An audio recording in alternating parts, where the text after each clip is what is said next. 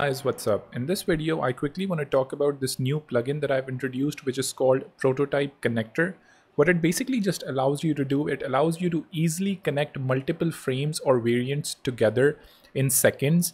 And i've checked out a bunch of different plugins. Some of them definitely did offer the ability to connect multiple frames in seconds, but it did not allow you to choose different properties and it did not work on variants as well. So what this plugin does is it instead of people manually going ahead and selecting a frame and then connecting it and then I go ahead and connect another one and stuff along those lines. I mean that's a lot of work especially if you're building out animations like me or creating out videos for Twitter. So what you can do now is you can just open this prototype connector plugin you can select all of the frames that you want to connect. One of these other plugins or some of these other plugins actually did not offer the ability to actually have the prototyping order defined as well. So I have four orders here. By default, as you can see, the order is 3, 2, 1, 8, 4, 5, 6, whatever it is. It's actually flowing uh, from the page order, which is 3 to 7. So that's what's happening here.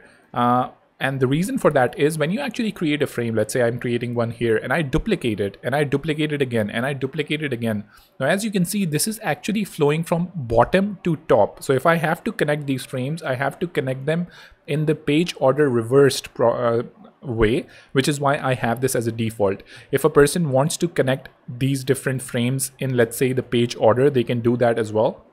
The frames that you select are actually listed out here as well and it shows you how that order is actually going to be connected.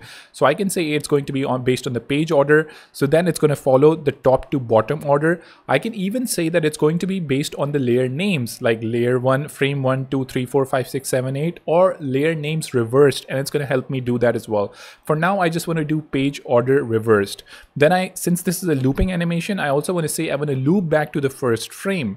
Then I have my trigger type. Mostly these animations are done using after delay, so I'm going to choose that.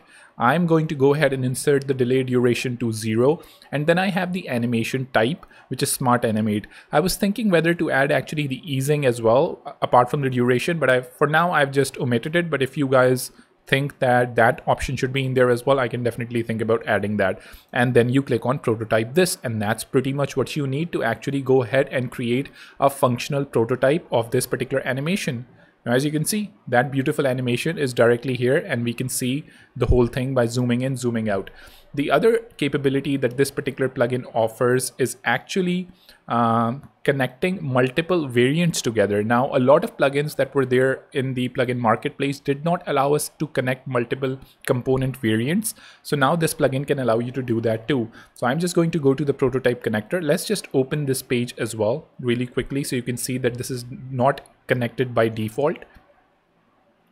So as you can see, this is the button and we're just going to go ahead and select all of the variants of this button, page order reversed, that's perfectly fine. Variant 1 2 3 4 5 6 and then we want to loop it back. We want to do an after delay again. The delay duration can be zero. Maybe the animation duration can be slightly higher like 500 this time and let's prototype it. So once that's done i can just directly go to my prototyping view and there you go we have our animated glowing button and again you can start using this plugin right away. This is the particular, I'm actually going to add a link to this particular plugin as well. You can get this free button in there as well. You can get this free animation. Obviously, that's not the most useful thing. The most useful is the plugin itself. So definitely go ahead and do check it out.